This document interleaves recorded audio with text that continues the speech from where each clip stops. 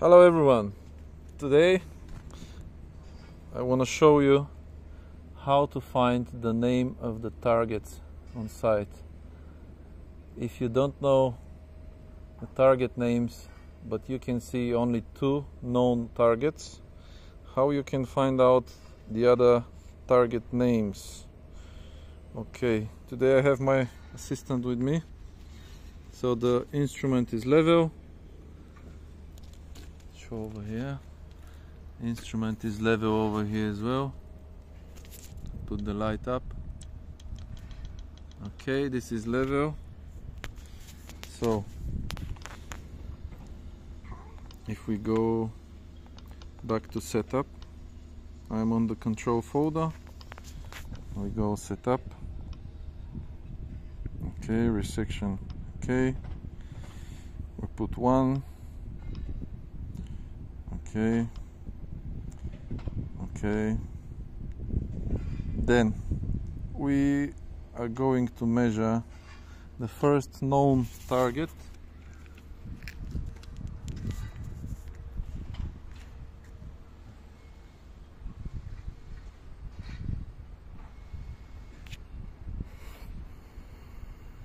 Okay. show over here from the middle which will be BJ uh, 4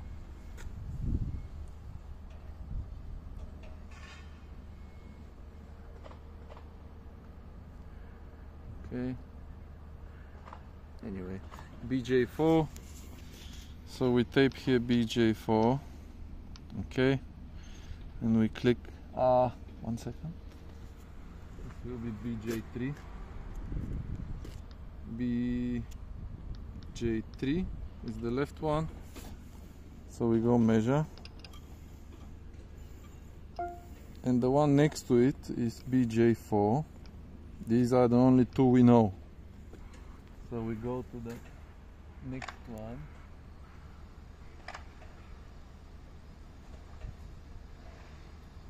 Okay. We measure BJ4 measure So now, if target 1 and 2 that we know are correct, the instrument's gonna turn and then we can click calculate. Then we go uh, targets, uh, quality, to see if the two targets are correct. They are correct because the resection is good. Then we go 3D viewer. Okay, so now on this screen, we want to know target up there on this building.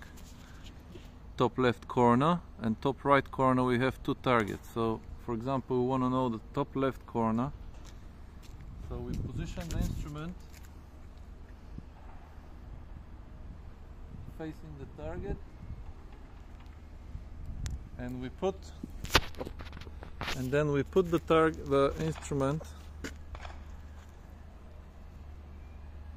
straight facing the target. So in here on the controller on the controller we have our two targets that we measure BJ3 and BJ4 and because the instrument knows its position it's orientated. So then we can face it towards our third target that we don't know the name then we zoom it.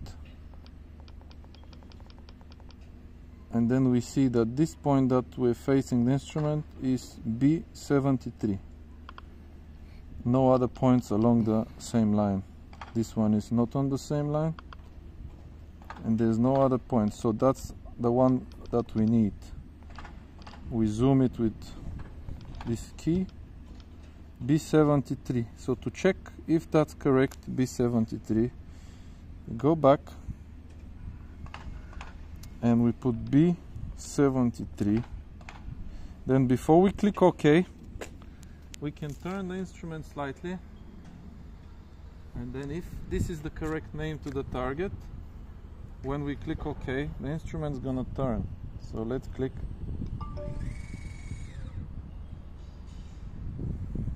Let's check inside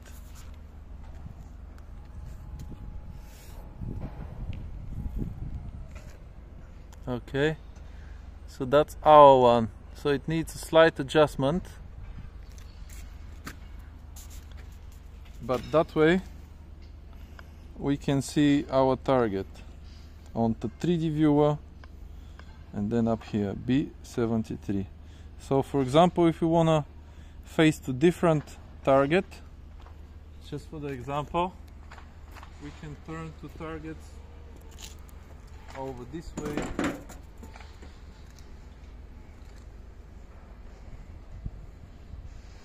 okay on the flat here. Let me show over here. So up there. Up there on the flat top right corner we have a target. I'm gonna show you here. You can see. Okay so we don't know the name of that target. So we go on the controller again.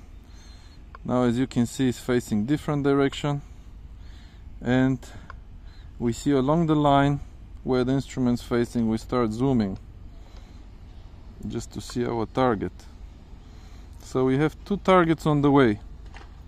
That's a good example. So we have V2 and FL4 so to check which one is the correct one we can put FL4 we go back so we put FL4 and when we click OK I'm gonna turn again the instrument a little bit out. So when we click OK it should be turning to FL4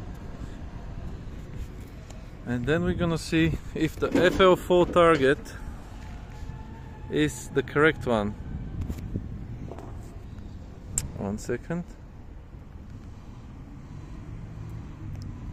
FL4 that's our one. So let's see if the other one was V2 so if we go calculate 3D viewer and let's try to see the other one which was V2 just for the exercise. So we go back click V2 and Turn it again. So when we click OK and then we see where it shows V2 so let's see now where is uh, V2 if that's the correct one which we are looking at.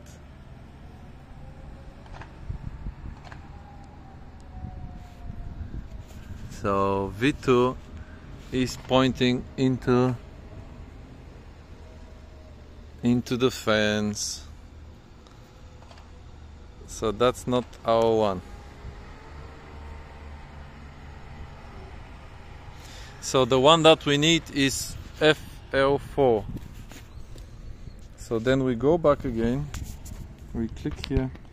FL4 up FL4 we click OK then it's facing the correct target. Then we can measure calculate and complete our setup.